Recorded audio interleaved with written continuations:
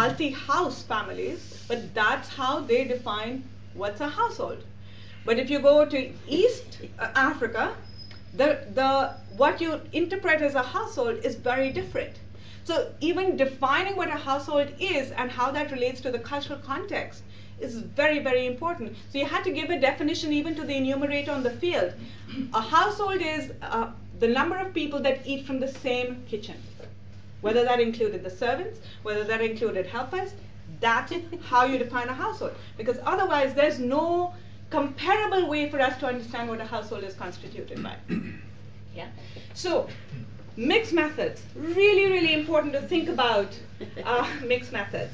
One example of some other work that we did in Pakistan was amongst tax collectors, and we needed to understand what can increase tax collection among, um, what can incentivize tax collectors to increase their tax collections without penalizing citizens and without them feeling intimidated. And we learned, we did a lot of qualitative work amongst these tax collectors to understand their idioms, their strengths and their challenges, to then even design the basic work that was um, the basic intervention that was done there. And this work was done by um, IGC that are headquartered in um, the UK. The second is it takes a village to understand whether programs are making a difference or not. You need, you know, the designer of the program, you need the analyst, you need the uh, anthropologist, you need the ethnographer.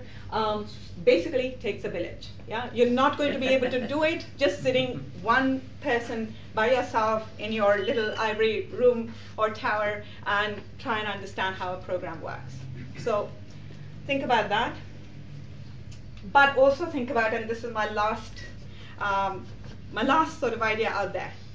Also think about what makes programs finally successful more often than not, most development programs have thought, we'll put the programs out there. As long as people are learning, they will change their behavior. that doesn't happen. Daniel Kahneman, Tversky, Amos Tversky, now more recently Richard Thaler, have talked over and over again, uh, again about behavioral insights. You need to go the last mile to understand whether your programs are making a difference. So, these are favorite books of mine. Exactly. How do you change people's behavior? You can make them learn all you want. I know I need to go to the gym every day. I don't. I know uh, doctors know, a completely different example. Doctors know that they need to wash their hands. Of all people in the world, doctors should know this, that they need to wash hands before surgeries. There was a study that was done in the 1990s that found that there were 100,000 deaths that were caused in the United States alone because doctors didn't wash their hands before surgeries. doctors. Yeah? And so there was a whole lot of experimentation that was done. You know, I can tell you about how that went. But important thing is clearly it's not just knowledge that is important to change our behavior. Something else has to change. Something has to trigger our brain to change our behavior. Yeah.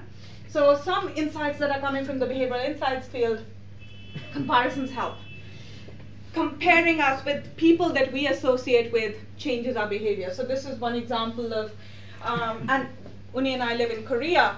We get our electricity bills, we are compared against similar households. Our electricity bill is compared against similar households. So we don't know who these households are, but we know what the average of the neighborhood is. And our electricity bill is basically posited against that. But this started off in the UK, where people's bills were then compared with what was happening in the neighborhood because that's where more more similar people are going to stay. Yeah? That changes how you consume electricity because you know whether you're doing worse off or better off than the people around you. You can't get behavior change unless you mobilize the entire community. Yeah?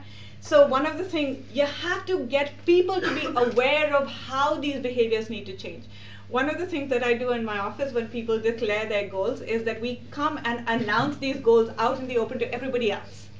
It creates a norm and a knowledge around everyone. Everyone knows that this is what you're aiming to do. They will change their behavior to accommodate what your behavior change is going to be. But community mobilization, and this is in developing countries, has been found to be much more important in changing behavior for HIV/AIDS, for uh, for abstinence. Uh, it, you cannot change behavior one person at a time. You need to think about communities. um, how you frame choices is really important. If you have a big plate or a small plate, it's going to make a big difference to how much you eat. If I take that small plate, I'm not going to go back for my second helping or my third helping. But I'll definitely put in much more food into my big plate. So, uh, behavioral scientists in the UK actually did away with the idea of getting trays for people who come into canteens. Because you can't, in trays, you end up piling up a lot of your food even if you're not going to eat it. But when you are forced to carry just a plate, you'll eat lesser. Even though you know you have to eat lesser, you don't eat it less, eat lesser. So you need nudges. And so this is what they did. Social recognition helps amongst your peer community. So another study that was done in Zambia to understand female contraception the research team uh, from uh, Boston University actually worked with hairdressers because hairdressers spend a lot of time with women. Right? You spend about four hours, every woman in Zimbabwe, did I say Zambia? Uh, Zimbabwe would spend at least three to four hours with a hairdresser who was braiding her hair. It's the best time for you to be talking about, you know, contraception or changes in attitudes, etc. But they try different things. They try to understand, okay, financial incentives, would that get these hairdressers to, you know, get them to talk about contraception and changes in behavior? Or so or putting a star on top of their shops. No surprises? Getting a star up on the top of these shops where these hairdressers were then lined up in front of the community and, and were hailed as community champions was far more effective than giving them small financial incentives because they felt recognized amongst the people that they cared for. So evidence needs to be built, but we need to consider behavioral science in understanding what works in the last mile. So conclusions, build high quality evidence on what works, but think about bias and think about your causal pathways when you're doing that. Second, tracking implementation fidelity is key. And within that, think about frequency, think about dosage, and think about uh, timing. Third, measure what you treasure think about what the ultimate goal is and then measure that. Timing of evaluations is critical. Mixed methods are best, much like Martinez. And last, behavioral science is needed to understand the last mile. There was a study that was cited in the New York Times that said that people who spend time um, acknowledging how grateful they are for all of the opportunities that have been given to them, even if they haven't. So there was a randomized control trial um, after 10 weeks of them writing down every day what the things that they're grateful for, those people in that treatment group were far happier than the people in the control group. Taking that lesson, I'm really grateful that all of you are here. Thank you very much.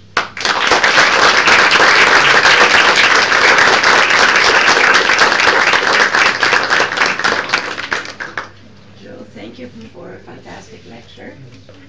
Very insightful and useful. Let's have uh, question and answers.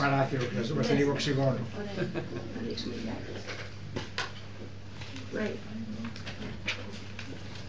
Okay, we'll start uh, with George Mergos, development economist and agricultural economist. Thank you very much, uh, Jo. It was uh, like uh, having a window to the world. Uh, for us uh, who have not been very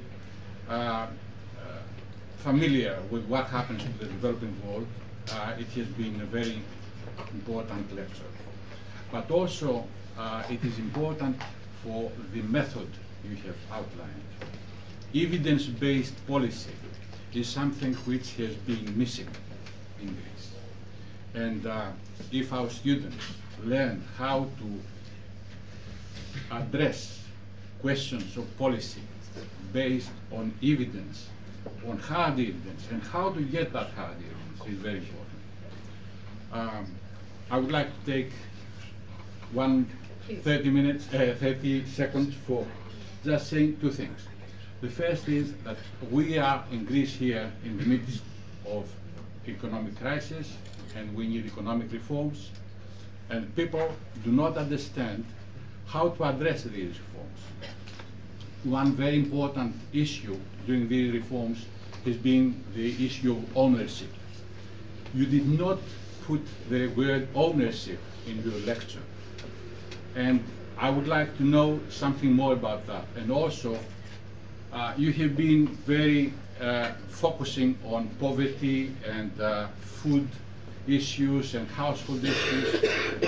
Have you something to say about the economic reforms and how these economic reforms are being better implemented? And also would like to take the opportunity to say that uh, recently uh, the European, the, the, the Greek Evaluation Society has been established here uh, as a chapter of the European Evaluation Society. The next um, Congress, the bi, bi, biannual Congress of the European Evaluation Society will take uh, place in Thessaloniki in October. So anyone who is interested in evaluation and impact evaluation, please be there. Thank you. Thank you so much. Okay. You want to take a few questions? Let's take a few questions. Yes. Thank you. Yes. Uh, thank you very much for the, this very interesting presentation. I have a question that is is coming from the problems that I deal with my research on the impact assessment of uh, investments of sovereign wealth funds. Uh, when I was working on this, I came to realize that what is considered a success from recipient countries or a successful design and implementation is not necessarily considered as a successful from the donor's side. So uh, I came to realize that it's important to uh, include in this uh, impact assessment analysis different views, not necessarily being, you know, uh, the same. And I was wondering, is there a way to weight these different priorities and opinions on what should come first in this assessment or not? In terms of donors and recipients. Okay. Let me have, have one more question.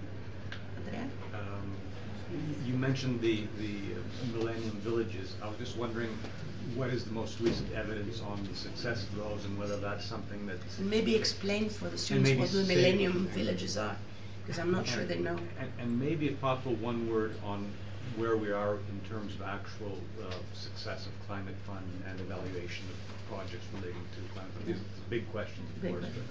And let me ask one final question. This was a, actually a formidable uh, presentation of the complexities that exist in doing impact evaluation. Is there something, from your experience, is there um, book or a guide to development economists, given all this complexity on how to proceed with impact evaluation?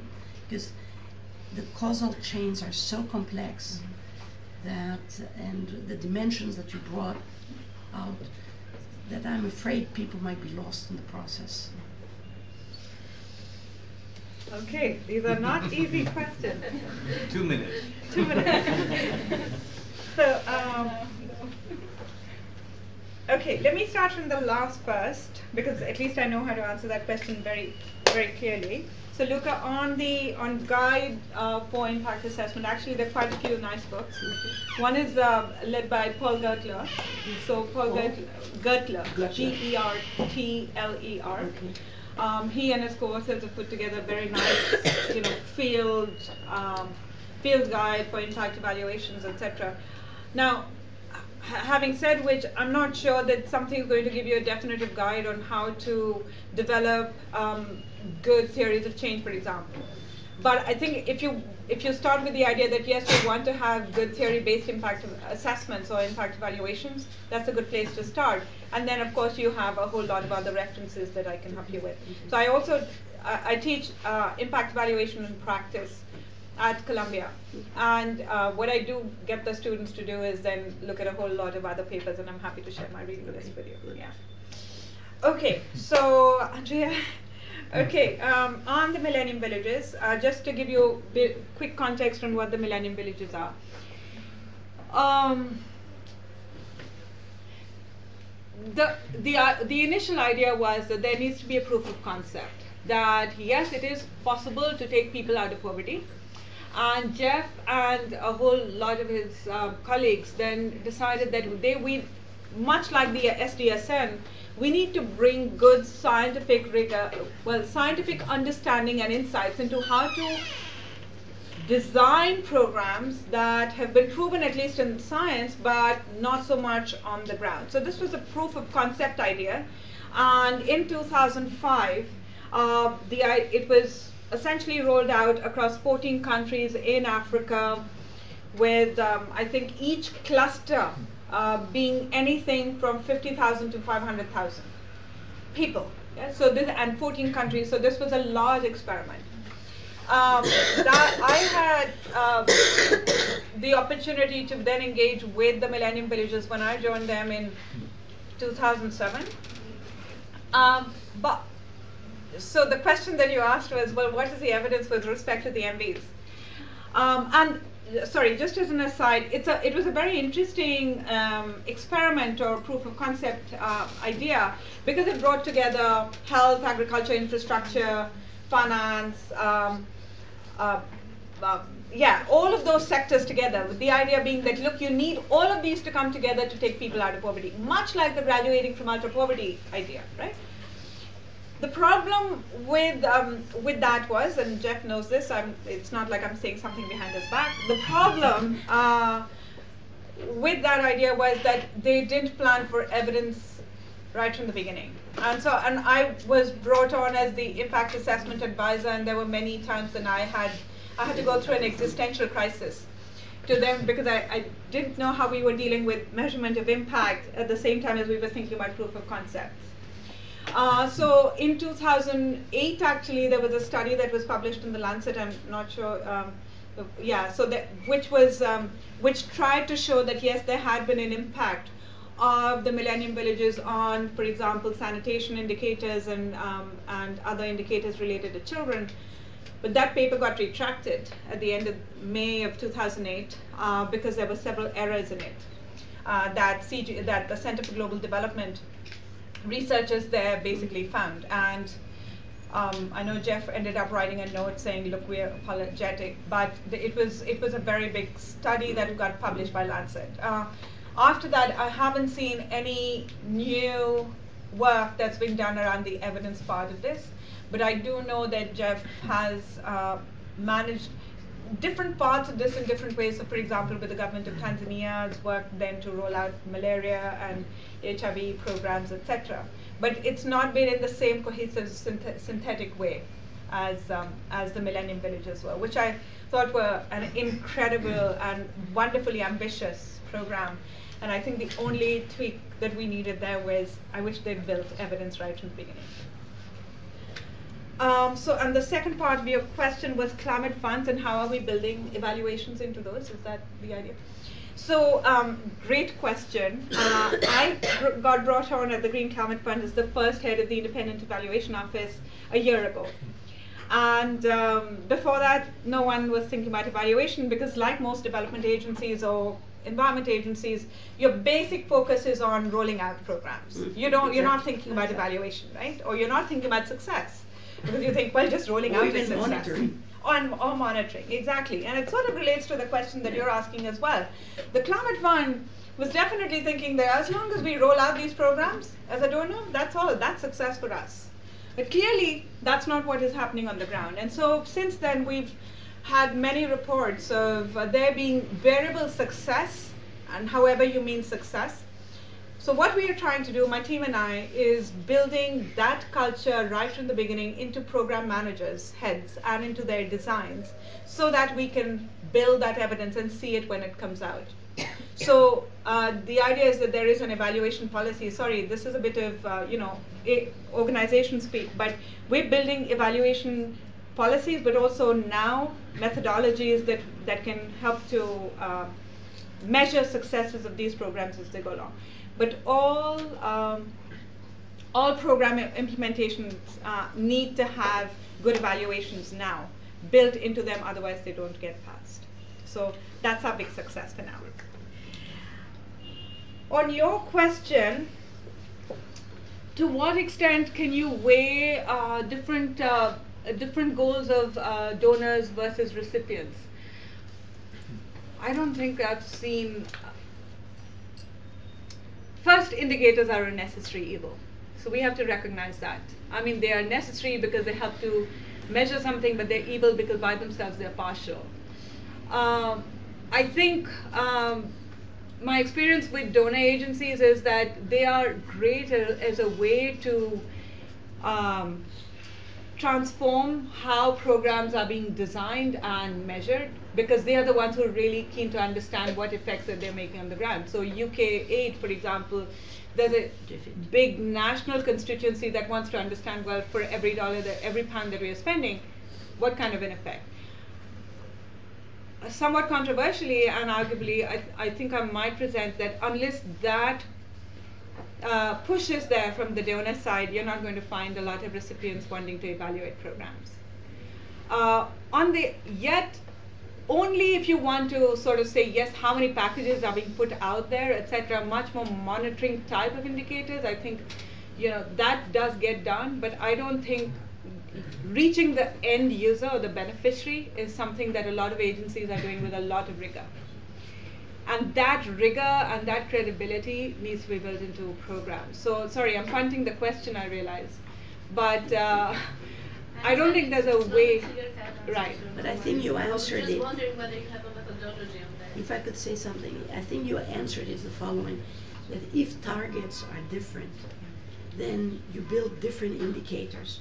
So donors might have, that ties also to one of the questions that George Mergos brought, that donors have their own goals to achieve, so they build different indicators than what recipient countries might And have. agencies have the same thing. Yes, exactly. I, I faced that in Afghanistan. I was for two and a half years coordinator of humanitarian assistance. And e- each agency had its own uh, Goals. Goals. goals. Some evaluated, some did not. Yeah, Monitoring we did, but Yeah. no more than that. yeah. And, and I presume also that the actual formation of these goals in the agencies Exactly. is a process of give and take between donors and, and recipient countries that eventually evolve. Now, what, whether that process is, is rational and, and, and, and what the internal weighting is in terms of that evolution is, a, is an interesting question, of course. Yeah, and the extent to which they are owned, which is, I Yeah. think, the question that you Ah. asked, which is a really good question. I have to confess, I took out that slide on, I didn't call it ownership, but I called it, uh, I call it stakeholder engagement, which is sort of my way of, yeah. But unless you can, so I took out that slide thinking this is a very long presentation, so forgive me for that. But uh, it's a really good question, and I, I think all of the questions that you asked were really about ownership of these results, right? And unless you can build these in right from the beginning, nothing goes forward. There's, forget behavioral insights. Yeah, you can nudge people all you want, but nothing gets built unless you build that. And so, th- for example, in um, when we started to even build impact assessments and designs, one of the things we found was that you could come in, you know, be a hotshot researcher, build identification designs into these impact evaluations, but if the if the recipient did not know that this evaluation was going on, and if you only came and sort of presented a news item at the end saying, oh, you made a you know seven percent difference on impact, it didn't get picked up at all. You needed to involve them right at the design phase for them to then get excited about um, about these. So one of the unintended consequences, I think, of building impact assessments in programs has been not that they're going to show you fantastic, you know, mind-blowing results. What they help you to do is to put in discipline into the programs. And that changes the quality of programs dramatically. Because one of the things that we ask for is this engagement. Continuous engagement as you go along, which doesn't get built into a lot of programming. So I I think your point on ownership was just right on the mark. There is another related to that, the counterfactual. Yes. How do you define the counterfactual? Because comparing a control group with the treatment group is correct, but how do you define the control group? Yeah. And I have experience on that, and this is something different. Next I'll lecture. come back definitely for another lecture on building counterfactuals, but uh, I, I think it's one of the most fascinating parts of um, assessments. And I'd like to submit respectfully that I think you can always find a way to build counterfactuals in interesting ways, whether you use natural experiments or you use artificial counter uh, counterfactuals, and now there's also called um, So something that Acemoglu has started, which Yeah. is um, synthetic counterfactuals, right?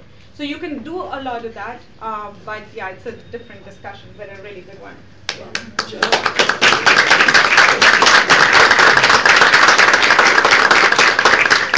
Thank you very much. I hope you come back. We- I'm sure we will have many, many more questions. Bigger amphitheater. But thank you in a bigger amphitheater. Thank you very much indeed. Thank you. Παιδιά, όσοι από εσά θα είναι έξω στο τραπεζάκι θέλουν να πάρουν ένα ε, πιστοποιητικό, είναι έξω στο τραπέζι, μπορείτε να το πάρετε. Thank you so much from all Thank of you. us. Thank you. Thank you very much, everyone.